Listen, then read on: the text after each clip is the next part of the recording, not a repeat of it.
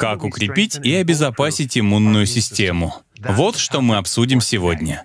Во-первых, что такое иммунная система? По сути, это оборона, армия, вооруженные силы, воюющие с плохими парнями, патогенами. Патогены — это микроорганизмы, вызывающие болезни. Слово «иммунный» происходит от латинского слова «иммунис», что означает «освобожденный от государственной службы». Любопытно. Если разобрать смысл, то получится «защищенный» или «свободный от нападений, вреда и болезней». То есть иммунная система защищает вас от болезней. Это как миграционный контроль. Если что-то извне попадает в организм, оно должно пройти через дыхательные пути, либо через пищеварительный тракт, и оно должно получить печать о допуске от миграционного контроля. Этим и занимается иммунная система. Она постоянно следит, не является ли что-то посторонним или, возможно, вредоносным, или же это часть организма. И если она отмечает что-то как чужеродное, что может угрожать организму, она автоматически задействует силы обороны. Об этом мы и поговорим далее. Есть три основных барьера иммунитета. Во-первых, кожа. На коже есть много дружественных бактерий, которые помогают помогают защищаться от вторжений извне. Еще есть жировая прослойка, которая защищает. Еще на коже есть определенные кислоты, которые тоже защищают. Далее есть слизистые оболочки в ЖКТ, в дыхательных путях и на пазухах, которые также ловят и поглощают посторонние частицы или микроорганизмы. Воспаление — еще один защитный барьер, который организм выставляет. Главные клетки иммунной системы — белые кровяные тельца. В отличие от красных кровяных телец, у них иная функция. Помимо белых кровяных телец, есть полезные микроорганизмы, которые тоже помогают. Все полезные микроорганизмы вместе называются микробиом или микрофлора. Они помогают множеством способов, от усвоения нутриентов и переработки желчи до иммунной защиты. Кроме прочего, у них есть и такая стратегия. Они делают так, что патогену не остается пространства для жизни. Другими словами, патогену не достается пищи, чтобы выжить. Поговорим о силах обороны нашего иммунитета, о белых кровяных тельцах. Они производят кислоту, чтобы растворять и убивать бактерии и патогены. Они выделяют яд, чтобы убивать эти микроорганизмы. Они высвобождают свободные радикалы. Они производят перекись водорода. Вы, наверное, видели это раньше, когда берешь перекись водорода и наносишь на открытый порез. Происходит растворение. Она пенится и убивает микробы посредством окисления. Белые кровяные тельца производят ферменты, расщепляющие и растворяющие бактерии. Как я уже говорил, микроорганизмы конкурируют за пищу и пространство, а белые кровяные тельца производят слизь и вызывают воспаление. Патогены попадают в сети слизи и больше ничего не могут сделать. Это как зыбучие пески. Также у иммунитета есть память обо всем, что происходит. Все попадает в базу данных для запоминания. Когда спустя много времени какие-то бактерии снова попадут в организм, иммунная система их отметит, потому что сможет их вспомнить и уничтожить. То есть она со временем обучается, подвергаясь воздействию этих патогенов. Так формируется иммунитет. Поэтому не очень полезно содержать детей в настолько стерильных условиях, что они не подвергаются подвергаются никаким болезням. Ведь это естественное формирование иммунитета. Также у нас есть штуки под названием фагоциты. Это часть иммунной системы. Фагоциты — это клетки, которые умеют поглощать. Они пожирают микробы. У них ненасытный аппетит не только к микробам, бактериям, дрожжам, грибкам, но также они поедают отмершие клетки и мусор. Они как осенизаторы всего того, что в организме не нужно. В одном литре крови 6 миллиардов этих ребят. В фагоцитах интересно то, что они стимулируются кислотой. И я думаю, Именно поэтому, именно поэтому это чисто моя догадка, что когда люди пьют много синтетического витамина С, аскорбиновой кислоты, это дает хороший результат, если даже этот витамин С синтетический, просто потому что это кислота. Я бы рекомендовал потреблять яблочный уксус. Яблочный уксус известен тем, что повышает кислотность организма и ускоряет фагоцитоз, как и любая другая кислота. Если у вас есть выбор, я бы советовал пищевой витамин С, а не синтетический. Но для ускорения фагоцитоза лучше яблочный уксус. Еще один механизм, который я хочу упомянуть, хотя я его здесь не написал, связан с определенными белыми кровяными тельцами. Если определенные белые кровяные тельца заражены патогеном, у нас есть встроенный механизм. В случае, если в клетку что-то проникло, с ней проходит процесс под названием апоптоз, при котором она саморазрушается ради пользы всего организма, потому что если позволить вирусам проникнуть в ДНК клетки и начать воспроизводиться, клетка начнет воспроизводить этот вирус снова и снова. С другой стороны, у плохих парней, у патогенов тоже есть своя оборона. Они обладают способностью блокировать витамин D.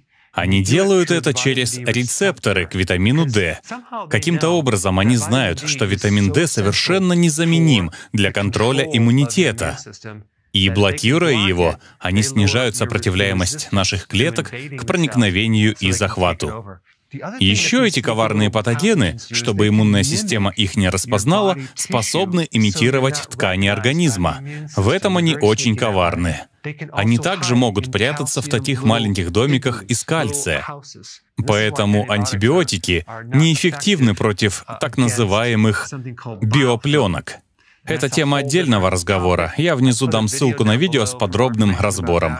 Но микроорганизмы стали очень умными. Еще один механизм, применимый особенно к организмам типа микоплазмы, у которой нет клеточных стенок, они перемещаются то в один сустав, в синовиальную жидкость, то в другой сустав. Иммунитет пытается их атаковать, но неудачно. Они продолжают перемещаться, так что их невозможно поймать. Еще один механизм. Микробы способны формировать различные структуры, сбивая с толку ваш иммунитет.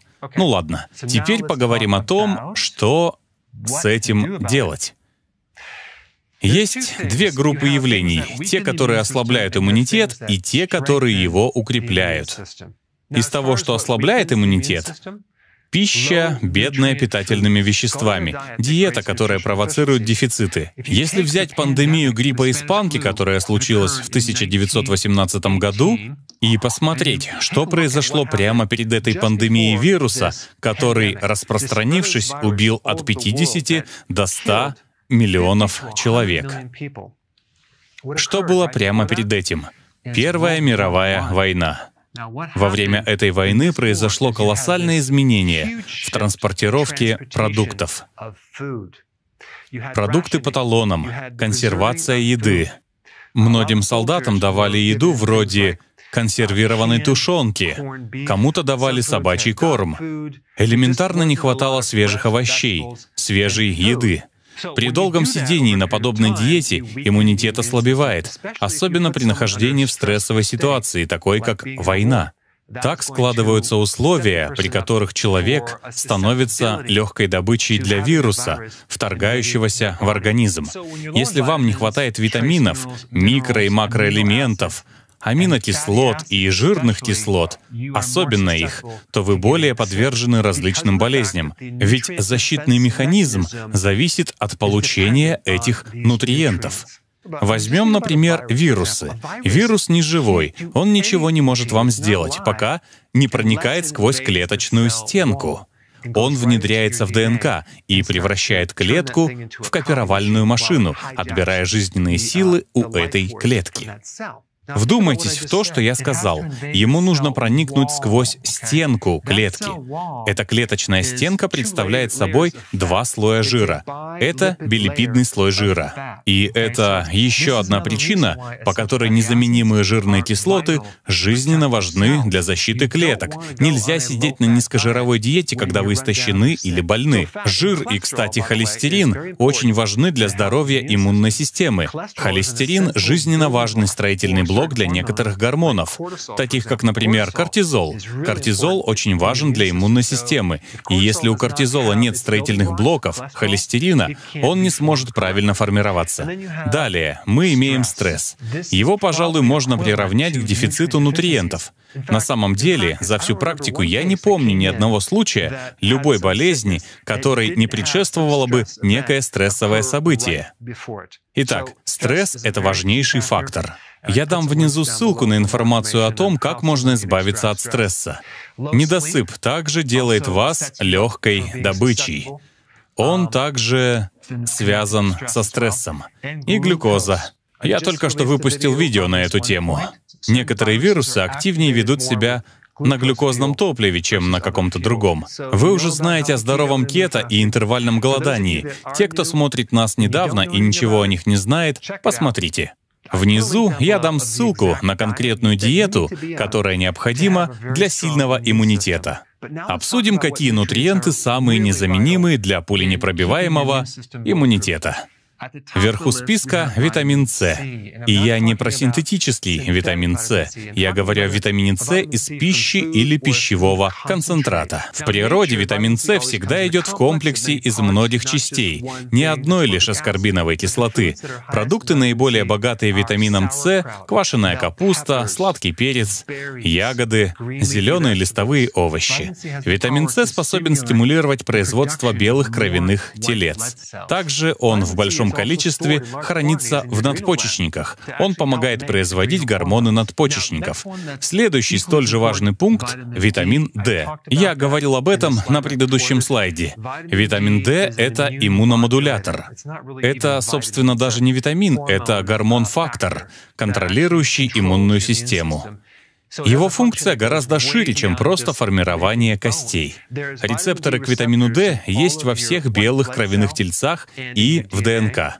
Когда я говорю, что он модулирует иммунитет, я имею в виду, имеет контроль над иммунной системой. У многих людей дефицит витамина D, а они об этом даже не знают. Витамин D поддерживает Т-клетки. Они производятся вилочковой железой, которая работает как тренировочный лагерь для белых кровяных телец. Также витамин D защищает от патогенов. Он дает два вот этих компонента, которые способны мощно уничтожать микробы. Витамин D делает много полезного для иммунитета. Далее в списке очень важная вещь — витамин А. Витамин А обеспечивает структурную целостность слизистых клеток в носовых пазухах и дыхательных центрах. Лучшие источники витамина А — это масло из печени трески, яичный желток, сливочное масло тоже им богато, ведь это жирорастворимый витамин. Кстати, витамин D очень трудно получить из пищи, так что лучшим его источником будет солнце или биодобавки. Цинк — самый важный микроэлемент для иммунитета. Он увеличивает количество Т-клеток и делает еще много полезного для иммунитета. У многих людей дефицит цинка. Цинк очень хорошо защищает от вирусов. Чеснок, бесспорно, на первом месте по способности уничтожать вирусы, бактерии, дрожжи, грибки, плесень. Он очень-очень силен. Далее, коллоидное серебро. По сути, это частицы серебра в воде. Оно применяется очень давно. Оно перекрывает кислород определенным микроорганизмам. Мощная штука. Некоторые пользуются им для промывания носа, и оно очень хорошо работает. Оно также очень эффективно против вирусов. Лист оливы. Лист оливы очень глубоко изучен. Я дам внизу ссылку на подробную информацию. Он полезен против вирусов и для защиты иммунной системы. Есть много других вещей, которые защищают иммунитет, но, на мой взгляд, вот эти самые эффективные. Спасибо за просмотр. Знаю, я вас порядком загрузил. Но если вы не видели мое видео про стресс, посмотрите его. Думаю, вам понравится.